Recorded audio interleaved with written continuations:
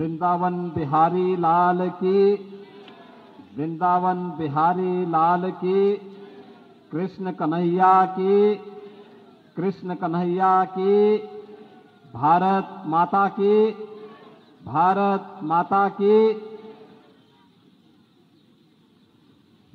Lucknow police line में। श्री कृष्ण जन्माष्टमी के इस पावन आयोजन में समारोह में उपस्थित उत्तर प्रदेश सरकार में मंत्रिमंडल के मेरे वरिष्ठ सहयोगी, उप मुख्यमंत्री श्री ब्रजेश पाठक जी राज्यसभा के माननीय सांसद और पूर्व उप मुख्यमंत्री डॉक्टर दिनेश शर्मा जी, लखनऊ की महापौर श्रीमती सुषमा खड़कवाल जी, माननीय सांसद श्री संजय सेठ जी मान्य विधायक डॉक्टर नीरज वोरा जी श्री श्रीवास्तव जी, मुकेश शर्मा जी, प्रदेश के मुख्य सचिव श्री मनोज कुमार सिंह जी, अपर मुख्य सचिव गृह श्री दीपक कुमार जी, पुलिस महानिदेशक श्री प्रशांत कुमार जी प्रशासन और पुलिस के हमारे सभी अधिकारीगण और उपस्थित सभी श्रद्धालुजन, बहन और भाइयों, आज आप सबके माध्यम से मैं प्रदेशवासियों को श्री कृष्ण जन्मोत्सव की हृदय से बधाई देता हूँ। आप सबके प्रति अपनी मंगल में शुभकामनाएँ भी देता हूँ। यह वर्ष भारत के शास्त्रों की मान्यता के अनुसार लीलाधारी भगवान श्री कृष्ण की पाँच हज़ार दो सौ इक्यावनवी जन्मोत्सव का आयोजन है।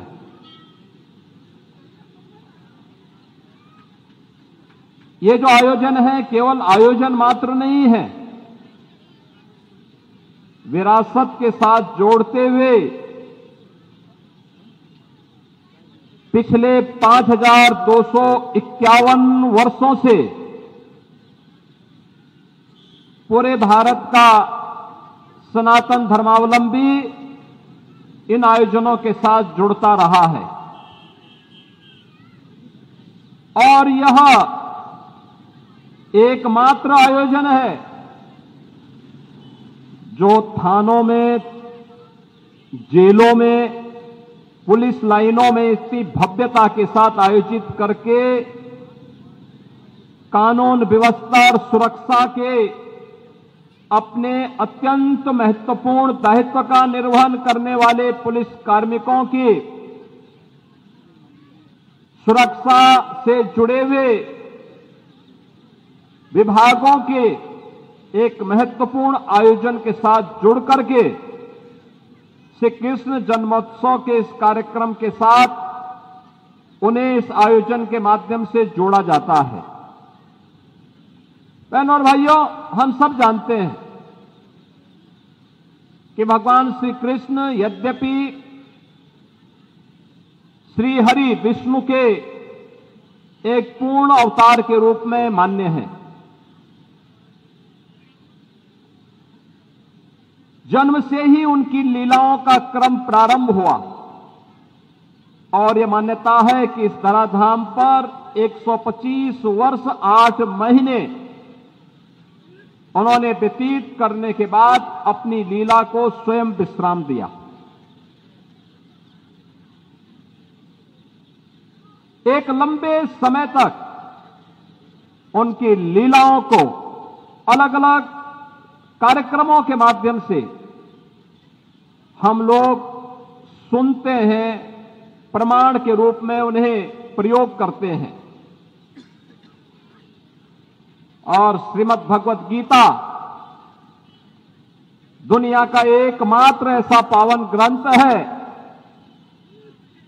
जो युद्ध भूमि में उन्होंने अपने सखा और अपने शिष्य अर्जुन को जो अमर ज्ञान दिया उसे आज श्रीमद् भगवत गीता के रूप में हम लोग घर घर में उस ग्रंथ की पूजा करते हैं। यहाँ तक कि भारत की न्यायपालिका भी उस ग्रंथ के प्रति उतना ही श्रद्धा का भाव रखती है जितना सनातन धर्मावलंबी रखता है। श्रीमद भगवत गीता को मोक्ष ग्रंथ भी माना गया है। मुक्ति। हम सबके लिए ये मान्यता है कि जीवन में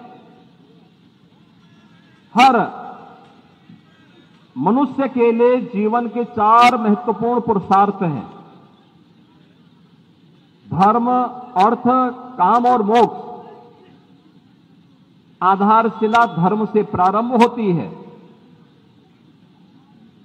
वह अपने कर्मों के माध्यम से। जो अर्थ का उपार्जन करता है, वह उसकी कामनाओं की सिद्धि में। जब वह उसका उपभोग करता है, उसका उपयोग करता है तो उसकी मुक्ति का मार्ग स्वतः प्रशस्त होता है। यह एक सामान्य मान्यता है। लेकिन श्रीमद भगवत गीता के लिए जो सबसे महत्वपूर्ण उपदेश है हर भारतवासी के लिए। यह उपदेश, आज भी हम सबको एक नई प्रेरणा प्रदान करता है।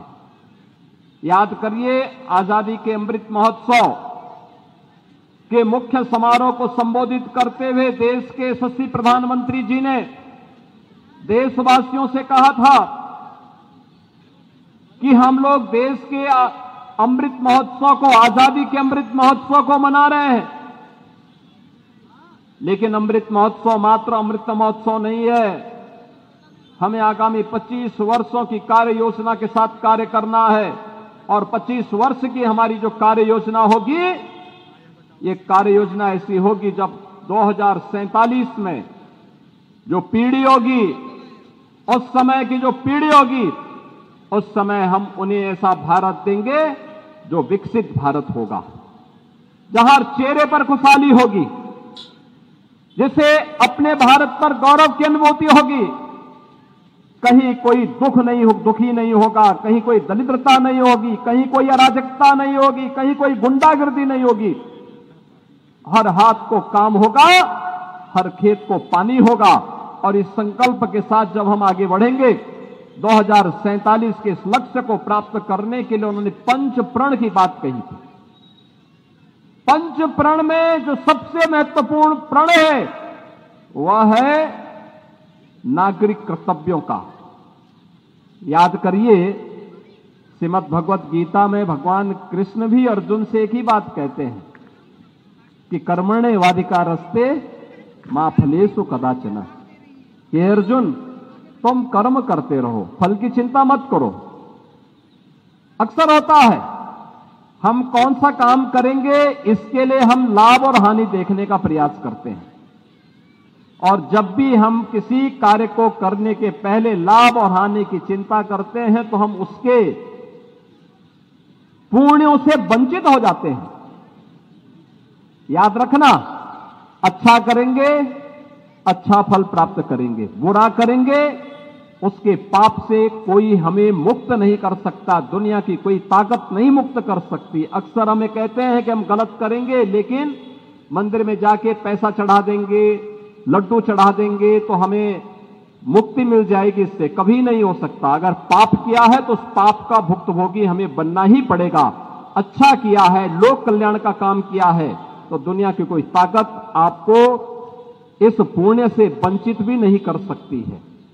यह हमारी मान्यता है और उस मान्यता के प्रमाण हैं। और इसीलिए कर्म की प्रेरणा। आज जब हम पाँच हज़ार दो सौ इक्यावनवे जन्मोत्सव के कार्यक्रम के साथ प्रभु श्री कृष्ण के इस उत्सव के साथ जुड़ रहे हैं तो हर व्यक्ति के अपने नागरिक कर्तव्य भी होंगे।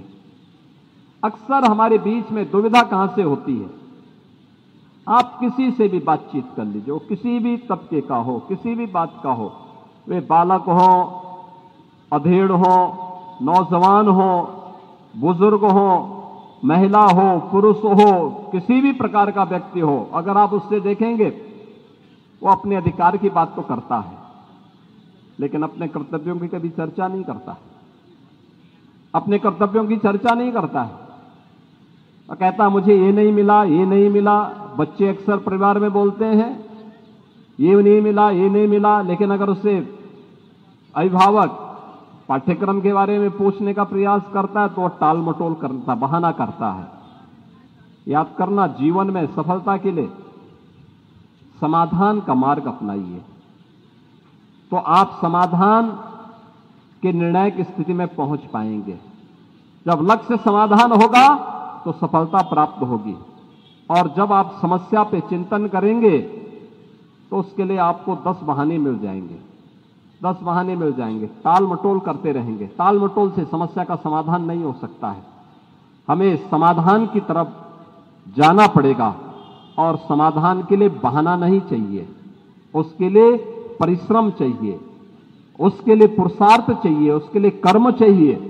और उस कर्म की प्रेरणा श्रीमद भगवत गीता जैसा पवित्र ग्रंथ, जिसे प्रभु ने कुरुक्षेत्र में आमने सामने खड़ी सेनाओं के बीच में लाखों सेना खड़ी है, दुनिया का एकमात्र ग्रंथ होगा, जो धार्मिक दृष्टि, धर्म और कर्म दोनों की प्रेरणा दे रहा हो। लेकिन उसका जो उपदेश है, वह रणभूमि में दिया जाता है, और रणभूमि में दिया गया उपदेश सबसे महत्वपूर्ण कर्म का है। याद रखना, कर्म के बगैर न धर्म का साधन पूर्ण हो सकता है, न अर्थ का पूर्ण हो पूर्ण हो सकता है, न कामनाओं का हो सकता है, और नहीं मुक्ति उस व्यक्ति को प्राप्त हो सकती है। और इसीलिए कर्म, हमेशा भारतीय परंपरा ने, भारतीय मनीषा ने कर्म को प्रधानता दी है। आज मुझे प्रसन्नता है, उत्तर प्रदेश पुलिस बल ने कर्म दिखाया। हानि लाभ की चिंता नहीं की। परिणाम आया कि जिस पुलिस को सबसे फिसड्डी मान लिया गया था, जिस प्रदेश को सबसे फिसड्डी मान लिया गया था, आज वो प्रदेश तेज़ी के साथ देश के विकास का ग्रोथ इंजन बन रहा है। कानून व्यवस्था का एक मॉडल प्रस्तुत कर रहा है। आज प्रदेश के अंदर हर ओर सुख और शांति है, सद्भावना है। पर्व और त्योहार शांतिपूर्ण तरीके से मनाए जा रहे हैं। हम लोग पुलिस लाइन में पर्व और त्योहार मना रहे हैं। प्रदेश के सभी पंद्रह थानों में, सभी पुलिस लाइन में, पिचहत्तर की पिचहत्तर पुलिस लाइन में, सभी प्रदेश के नब्बे से अधिक जेलों में ये आयोजन इसी भव्यता के साथ आयोजित हो रहे हैं और बिना संकोच के हर व्यक्ति आ रहा है। क्या ये संभव था आज से दस साल पहले? नहीं संभव था। सरकारें डरती थी, आयोजन करेंगे, इसका क्या लाभ होगा? लाभ और हानि से नहीं, अपनी विरासत के प्रति गौरव का एक गौरव की अनुभूति हम सबके मन में होनी चाहिए। विकास, उस विरासत का सम्मान करते हुए हम आगे बढ़ाएँगे। लेकिन उसके लिए उस प्रकार के प्रयास भी होने चाहिए, और वो प्रयास हुए, आज परिणाम हम सबके सामने हैं। और आज के इस अवसर पर मैं आप सबको इसी बात को कहूँगा। पंच प्रण में नागरिक कर्तव्यों के प्रति हम सबको जो जिस क्षेत्र में छात्र है, वो खूब अध्ययन करे।